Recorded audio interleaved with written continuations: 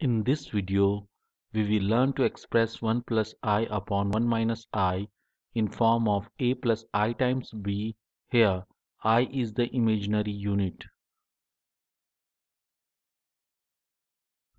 Let us assume z be equal to 1 plus i upon 1 minus i.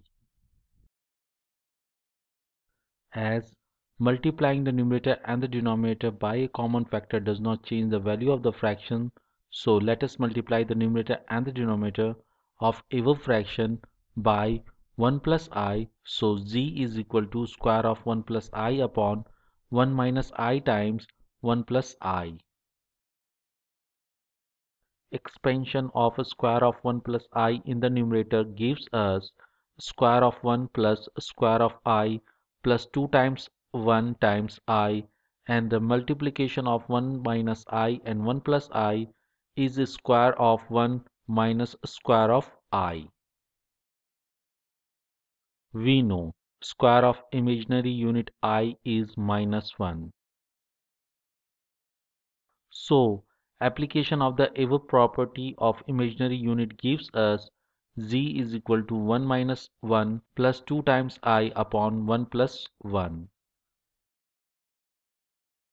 Further simplification gives us z is equal to 2 times i upon 2. Cancelling out the common factor 2 in the numerator and the denominator gives us z is equal to imaginary unit i. Comparing z with a plus i times b gives us a is equal to 0 and b is equal to 1. Thank you for being with me. I hope you like this video. Please click the like button and subscribe button. Do not forget to press the notification bell so that you get the notifications of my new videos. Share the video and do write in the comments. I am eager to listen to your thoughts. If you have any question related to video, if you think I should make a video on any other topics in which you are interested, please write in the comments. Thank you.